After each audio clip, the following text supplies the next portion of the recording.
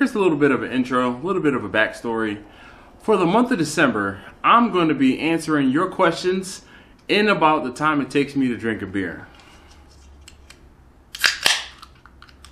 So feel free to join along. Ask me a question down below in the comments. I'll drink a beer, I'll answer your questions. Get ready.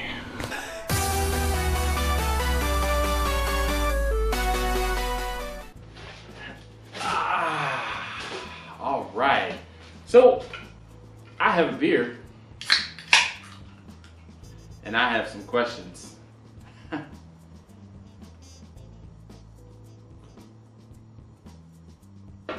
Cheers.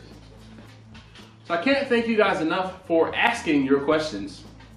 You guys have always supported me when I do this, and I know, I know, this is not everybody's cup of tea. Trust me, I'm aware. Some of you guys only want to see me cook. But then there are other folks who do actually enjoy having a conversation with me. And I really do appreciate that. So I'm going to answer a couple rapid fire questions. Hopefully this will help. And again, these are some questions that don't necessarily take 10 minutes to answer or to respond to. So Kirk says, my man Kirk from the Eastern Shore. This, this is Kirk. This is Kirk from the Eastern Shore. Shoreberry Barbecue. Hi. Kirk says, so this year seems like the perfect year for that lamb rub.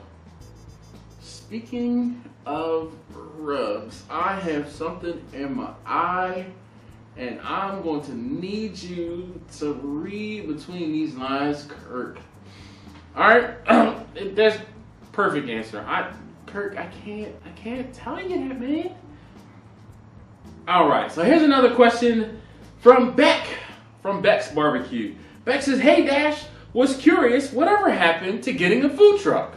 All right, so when I looked at that truck, I specifically stated in that video that I was only looking at the truck for informational gathering purposes only.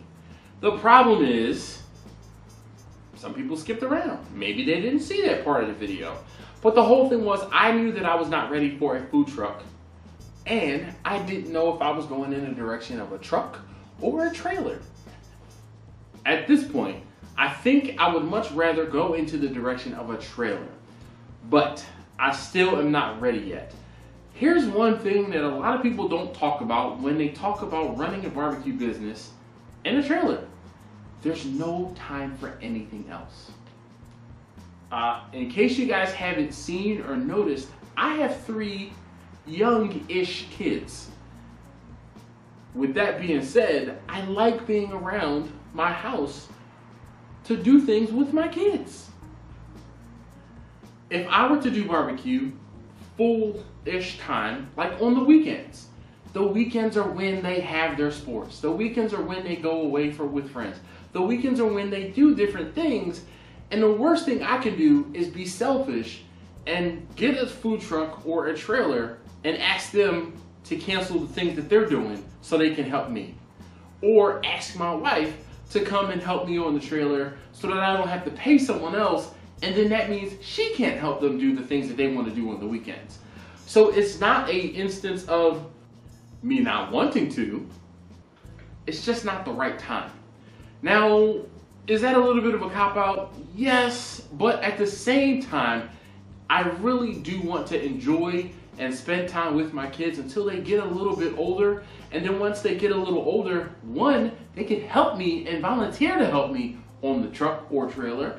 And or two, I'll be in a better position, I won't say financially, but I'll be in a better position to run a truck or a trailer if I so choose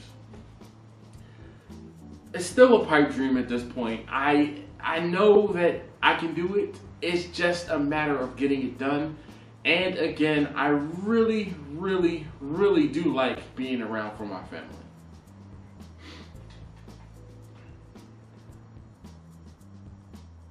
All right, next quick question comes from the blue collar millennial. He says, what got you into barbecue and cooking in general? So I've talked about this, I feel like sometimes ad nauseum, but some of you guys have not been around my channel for long enough to know I always talk about or I joke about the fact that I'm an arsonist who cooks. Really, I, I like playing with fire. Fire! Fire! Fire! Fire! and as growing up, I, we had a we had a little rectangular, excuse me, actually it was a square grill at home. And in order for me to play with fire, I had to cook on it. The the cooking was a byproduct of playing with fire. And that was pretty much what got me into cooking on the grill. And what got me into barbecue was a trip to Austin. I tasted some brisket. I couldn't get that brisket in Baltimore, so I figured out how to do it myself. It took me quite a while to figure that part out, but but I did, and eventually, eventually, it or it organically grew into a business. It was not ever meant to become or be a business. It just it just so happened that way. Thank you guys so very much for asking your questions. Feel free to ask your question down below. Hopefully, I can answer, get to, and answer your question before the month is out. Don't be bashful. Ask your question down below.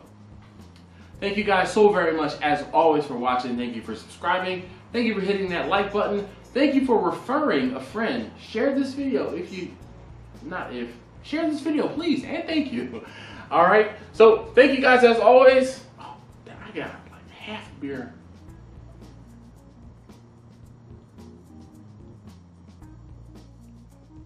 Okay, you know what I need someone to do? Remind me below to take a moment and a breath and to drink a little bit of the beer so I'm not shotgunning the beer at the end of the video.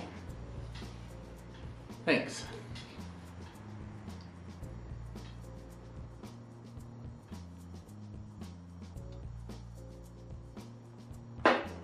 I'll see you guys next time. More water, baby.